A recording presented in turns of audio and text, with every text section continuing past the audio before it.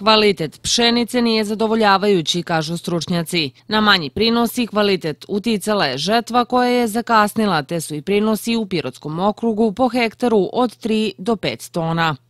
Pričamo već duže vreme o žetvi, ne zato što hoćemo, već zato što je ova godina izuzetno loša što se tiče naših poljoprivrednih proizvođača koji su imali parcele pod pšenicom, a to je gro takvih postojina i u Srbiji, ne samo kod nas. I imamo žetvu koja je trajala evo još malo mesec dana. E, teški uslovi, e, česte padavine su uticale da se žetva produži sve do evo ovih dana, znači početka avgusta. Prinosi se kreću od 3 tone do 4,5-5 tona, što je redkost.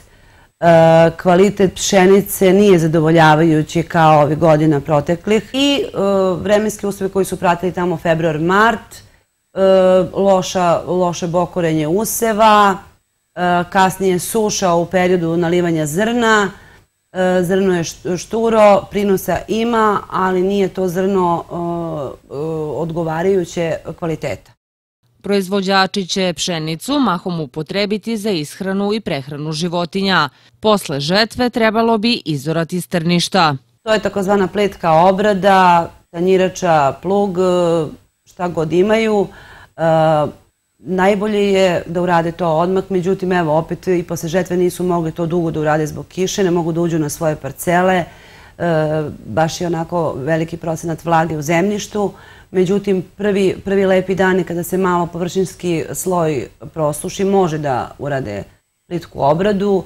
E, jako je bitna zato što zbog ove velike kiše i korovi su nikli na parcelama, pa će time da ometu te, da ometu te korove tom obradom, onda da iniciraju semenske korove koji se nalaze u zemljištu da i oni niknu, tako da će posle onoj jesenjoj obradi, glavnoj obradi, osnovnoj, takozvanoj, da unište i te korove koji su nikli iz semena.